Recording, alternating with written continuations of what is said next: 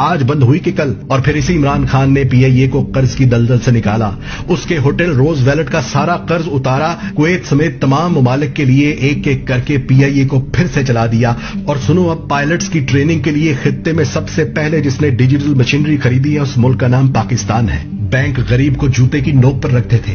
कर्ज छोड़ो, बिजली का बिल जमा करवाने के लिए भी लंबी लाइनों में लगते थे। कर्ज सिर्फ़ अमीरों को मिलता था और इसी इमरान खान की बदौलत वो सारे बैंक इस बात पर राज़ी हो गए कि वो अपना घर स्कीम में गरीबों को बिला सूद कर्ज देंगे। सैमसंग जैसी इंटरनेशनल कंपनी के मोबाइल फ़ोन और टीवी पाकिस्तान में बन रहे। मोटरसाइकिल और इलेक्ट्रिक गाड़ियाँ पाकिस्तान में तारीख में पहली बार बन रही। सियाहत में पाकिस्तान को नंबर वन डेस्टिनेशन पर ले आया स्कर्दू का एयरपोर्ट चला दिया, जहाँ रोज़ाना हज़ारों मुल्की और गैर मुल्की सयाह आ जा रहे हैं। पहला वज़ीर आज़म जो अठारहवीं तरमीम के बावजूद सिंध वालों को भी ट्रांसपोर्ट की सहूलत वफाकी बजट से दे गया। हिंदुस्तान की छाती पर पाँव रखकर डैम बना रहा, गिलगित बल्तिस्तान को पाकिस्तान का ऑफिशियली हिस्सा बना दिया।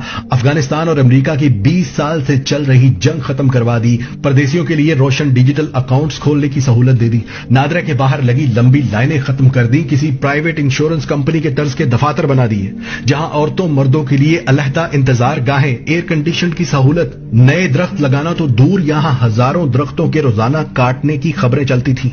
वहाँ आज करोड़ नहीं, अरब नहीं, खरब दरख्त लगा रहे हैं जिससे दुनिया पाकिस्तान को शाबाश दे रही है। और जो पाकिस्तान तीन साल पहले तक सिफारती महाज पर अकेला हो चुका था, उसी पाकिस्तान की एक आवाज़ पर छप्पन ममालिक के सरबराहान ओआईसी का इजलास अटेंड करने पाकिस्तान आ गए। आज तक की सबसे ज़्यादा एक्सपोर्ट इन तीन सालों में हुई। आज तक की सबसे ज़्यादा रेमिटेंस इन तीन सालों में आई। आज तक की सबसे ज़्यादा तेज इंडस्ट्री इन तीन सालों में शुरू हुई। अब मुझे बताओ कि मैं इमरान खान को किस चीज़ के लिए ब्लेम करूँ? अमीर गरीब को एक निसाब देने के लिए, परदेशियों को वोट डालने का हक देने के लिए, किसान को फ़सल का पूरा मुआवजा देने के लिए, अरबों से अपने परदेशियों से बराबरी का सलूक करने की दरख्वास्तें करने के लिए, अमरीका को एब्सोल्युटली नॉट कहने के लिए, मोदी को साड़ियाँ और आम भेजने की बजाय रिटेलिएशन की धमकी देने के लिए, अकवाम मुतहदा में ला इल्लल्लाह कहकर हम लड़ेंगे का नारा लगाने पर, गरीब अमीर का एक जैसा इलाज करवाने पर, जखीरा अंदाजों के खिलाफ तहरीक चलाने पर एक्सपोर्ट बढ़ाने और इम्पोर्ट को रोकने पर, पुलिस को अवाम दोस्त बनाने पर, सहाफियों को झूठ बोलने पर, सजा देने पर, किस चीज़ पर मैं ब्लेम करूँ उसे? भाइयों, कोरोना के बावजूद इस शख्स ने अल्लाह की मदद से सत्तर साल पाकिस्तान की तारीख के मुकाबले में वो काम किए हैं कि अल्लाह की कसम, मुझे अब इस पर कोई शक नहीं कि इस शख्स के साथ अल्लाह की तरफ़ से खास रहमत है।